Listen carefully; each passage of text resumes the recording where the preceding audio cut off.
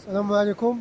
في إطار خرجة البركة التي تم الإعلان عن ديالها في جميع المدن المغربية بعد صلاة المغرب ووجبة الإفطار لهذا اليوم. ستتم أولا قراءة الفاتحة ترحما على الشهداء. شهداء الطريق شهداء الدراجة الجبلية والدراجة على الطريق الذين فقدتهم أسرة الدراجة المغربية في السنوات الأخيرة على بركة الله. بركة بسم الله الرحمن الرحيم. الحمد لله رب العالمين الرحمن الرحيم مالك يوم الدين إياك نعبد وإياك نستعين اهدنا الصراط المستقيم صراط الذين أنعمت عليهم غير المغضوب عليهم ولا الضالين. آمين. صدق الله العظيم. ندعو بالرحمة لجميع الشهداء شهداء الدرجة الجبلية كما قلنا والدرجة على الطريق. ونتمنى الشفاء العاجل لكل المصابين. الذين لا يزالون يرقدون بالمستشفيات وبمنازلهم الشفاء العاجل إن شاء الله.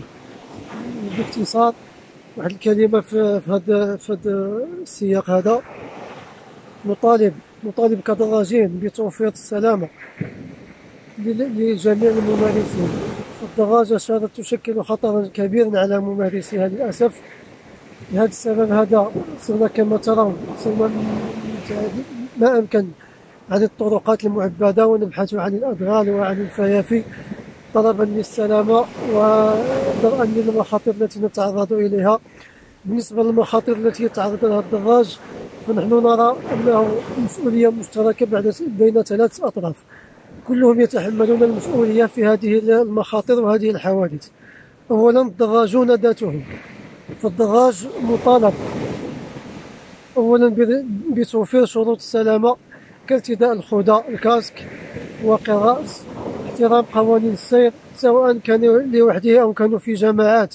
المسؤولية الثانية تتحملها السلطات المحلية ممثلة في آه، وزارة النقل والتجهيز التي نطالب منها بالإضافة إلى مختلف الجماعات الترابية بتهيئة الأرصفة الخاصة بالدراجين تهيئ الطرقات كاين مثلا بعض الطرق التي لا تتوفر على ممر خاص بالدراجين.